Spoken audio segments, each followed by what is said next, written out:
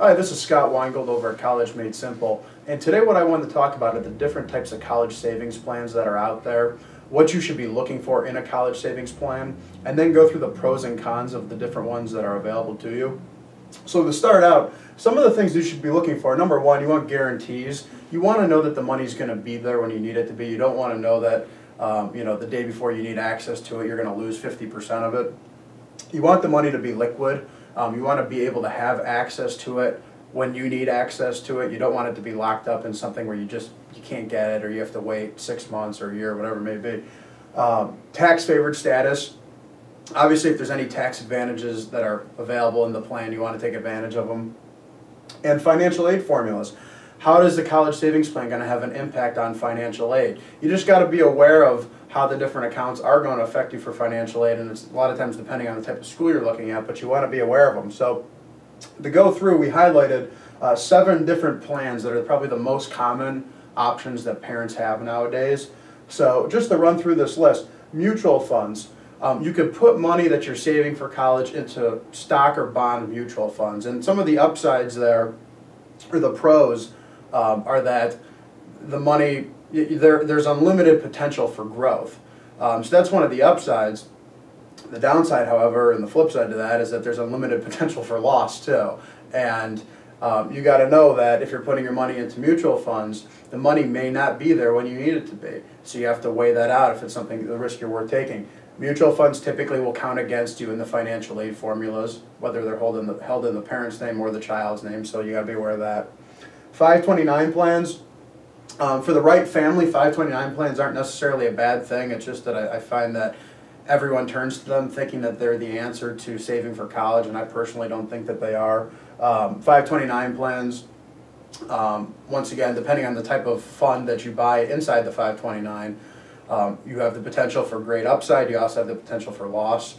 Some of the downsides are that there's typically high fees involved in the 529 plans uh, you're only able to access the money for college. Otherwise, you pay a penalty and taxes on top of it.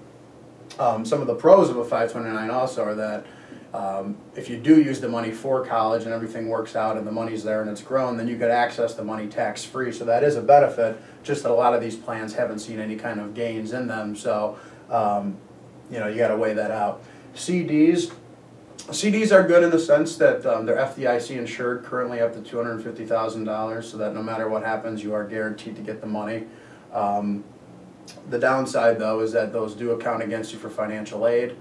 Um, and the money in a CD right now currently pays probably for a one-year CD might pay you half a percent interest. So they're, they're not even keeping up with inflation by any stretch of the imagination. So um, that's one of the downsides with CDs. They're extremely safe but there's no real return to them and they're going to count against you for financial aid.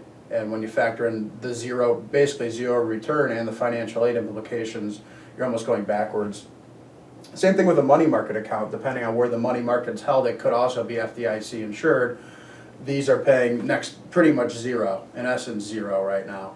So once again, they're safe, and I like safe. That's good. It fits into guarantees and liquidity, um, but they are going to count against you, and there's really no growth potential whatsoever fixed annuities. Fixed annuities are good from the standpoint of um, they typically have a higher yield than, than like a CD does. Um, the money is protected typically from financial aid formulas. Um, however, the money is locked up and that you're typically, for most annuities, you're only able to access 10% a year when you need them or else you face steep penalties to get out of them. Some annuities are different, but most of them work that way. So you got to weigh the pros and cons of that. Retirement accounts, like a 401k plan, um, the money in a 401k plan doesn't count against you, so that's good. Um, however, new contributions made to these plans, once your child hits typically their junior year in high school, new contributions will count against you. And you can't just go and take $100,000 and throw it into a retirement account. There's obviously limitations to what you can put in.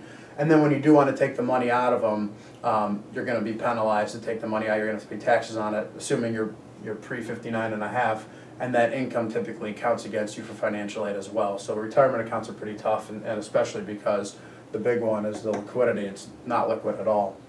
Cash value life insurance. Cash value life insurance can be a good tool for the right person, um, depending how it's set up. Uh, it, it offers guarantees, it offers liquidity, it offers tax favored status, whether it's either tax deferred or potentially tax free, depending on how it's set up. And it is also protected from the financial aid formulas. So um, it tends to be a good program, depending on how you have to make sure it's set up right, that it's overfunded, so that it's focused on um, maximizing the growth of the policy, not the death benefit. Um, but some of the downsides of a cash value life insurance policy is depending on how it's set up, you might pay some penalties to take money out prior to 59 and a half. Um, you're not going to have the upside potential of investing in a tech fund, um, but at the same time, it's a slow and steady. You know exactly what you're getting, um, safe uh, type of way to save for college. So there you have it. There's seven of the most common types of college savings plans that are out there. Um, for more information on saving for college, uh, check us out at www.collegemadesimple.com. Thanks.